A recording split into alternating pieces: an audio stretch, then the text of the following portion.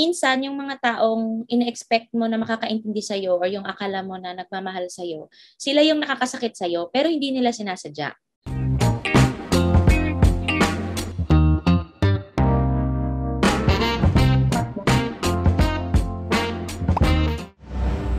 Meron ka pa bang hindi kinikwento sa akin?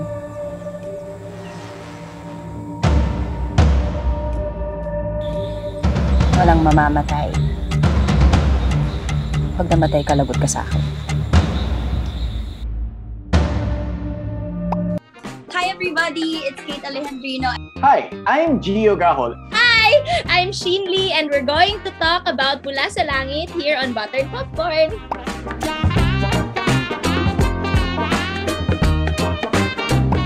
Mula sa Langit is about a soldier's homecoming. So, Gio Gahol plays the soldier, Wesley Villanueva. It's about his homecoming and how people are happy about it kasi nga umuwi siyang buhay from the gera. But meron siyang unseen post-war. It's something na he's dealing on his own inside. Kasi first time kong gumawa ng director statement nun, hindi ko alam pa paano. Eh, kailangan pag nag-pitch ka, di ba? Sabi ko, Andrea, ano ba gusto mong sabihin? um, parang sabi niya, minsan yung mga taong ina-expect mo na makakaintindi sa'yo or yung akala mo na nagmamahal sa'yo, sila yung nakakasakit sa'yo pero hindi nila sinasadya. Uh, which happened dun sa relationship story nitong si Ritz, played by Kate, tsaka kay Gio.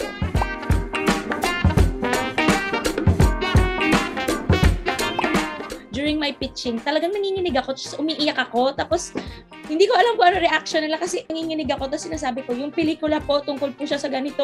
so, ako.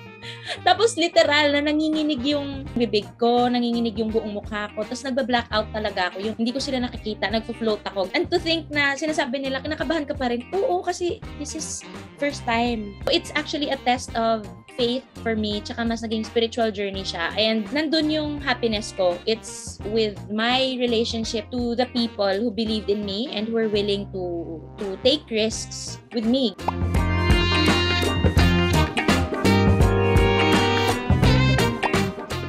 Nako, risky. Nakakatakot kasi nung nag-shoot kami, medyo maluwag na.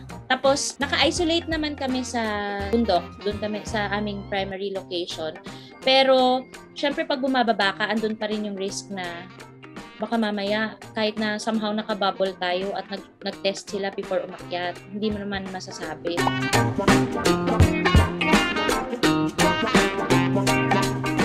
Yung funding ko, kaakibat ng, kaakibat ng casting. So, nung wala na, tapos sabi ko, Lord, pahingi po ako ng sign. Pag nakuha ko po yung sign ko in 3 days, magpo-push po ako kahit wala akong something. Tapos, after ko mag-pray, tinawagan ko si Gio. Kasi I got my sign. So, ayun. Tapos, um, si Kate din yata, nung nagdasal ako, sabi ko, I will honor the sign and the lack of it. So, kung may sign, magpo-push ako. Kung walang sign, hindi ako magpo-push. After ko mag-pray, tinawagan ko na. Kasi nag-ready ako eh. Pwedeng mag-push, pwedeng hindi. so, nung tinawagan ko at nag-push, sila na agad. Diretso na. Kasi, ni-ready lang ako. Tiniming lang ni Lord.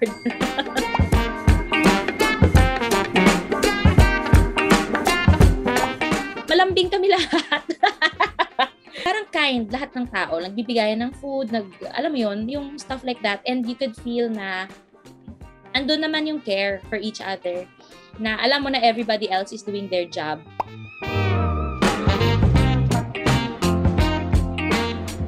It's a reminder to be mindful because what brings you happiness could open wounds sa ibang tao. Soldiering on doesn't really mean you have to move forward. Statement din dito sa pelikula ko, minsan you have to step back. That's when you regain everything because that's when you see the actual picture or that's when you actually get to breathe, when you just step back or just stop.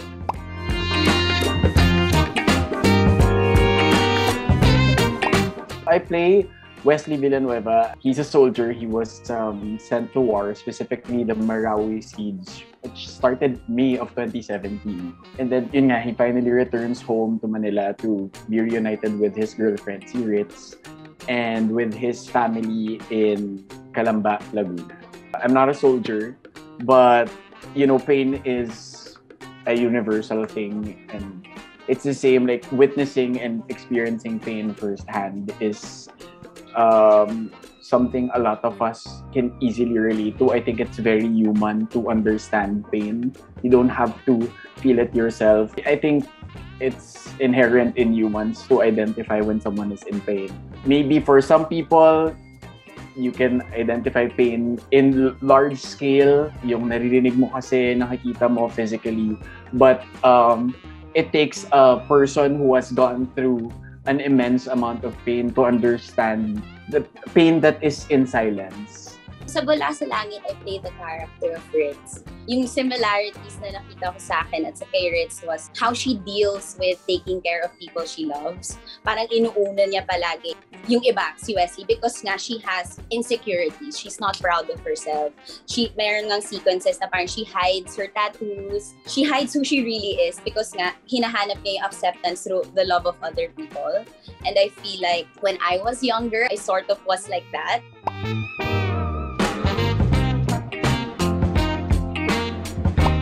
I'm obsessed with reading the script. Like, for me, my first job as an actor is really to learn the material. I needed to be mentally prepared na being in a place with the same people that I'm gonna be working with day in and day out for a given number of days. Sometimes it blurs the line between work and uh, professional and personal. So I needed to find that balance. during the online workshop, parang crash course, I was really trying to listen intently kasi I was like, okay, this is Mom Shing's baby. I want to be able to give my 110%. Nagbabasa ako ng script every night bago kami mag-sini Gio. As in, hinahash out namin talaga yung units namin and kung ano yung thought process namin as characters because nakakahawa yung energy ni Mom Shing. Actually, this whole production, you could feel the passion and the, the love for the material.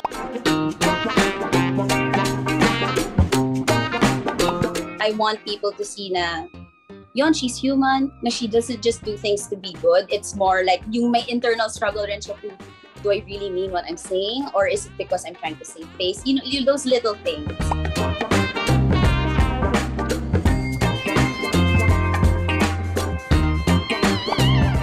Felt so safe, especially also with Gio. He's such a generous actor. I'm really so excited for people to watch him here because you can see yung passion niya and yung truth niya talaga sa mata niya lang. Kahit nakaupo lang siya, nakakahawa. It was a joy to watch him work.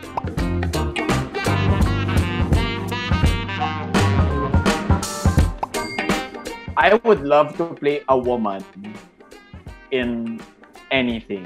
A woman ah, as in babae. Pero hindi naman, I think Kate is perfect for Ritz. Like, I'm not gonna try to steal that from her. yeah, I guess wala. I wouldn't want to switch. Ako din eh, same actually. I feel like everyone fit the role perfectly. Parang after seeing and witnessing everybody play their roles, there's no other way for me to see the character.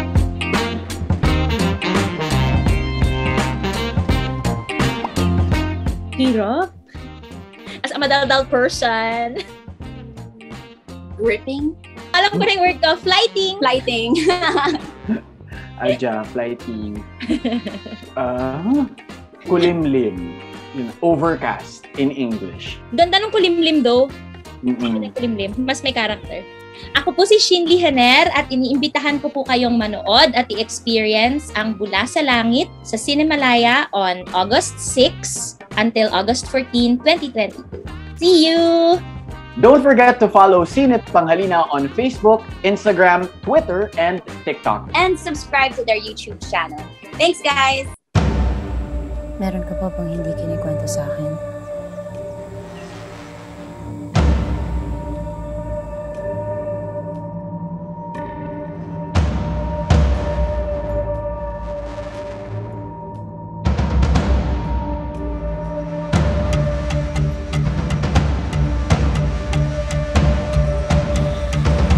Walang mamamatay. Pag namatay ka, lagot ka sa akin.